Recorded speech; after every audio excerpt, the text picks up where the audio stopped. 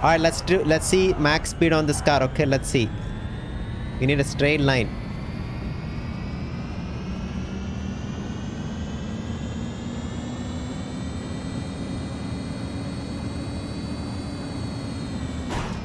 Okay, guys, we can't find straight line in this game.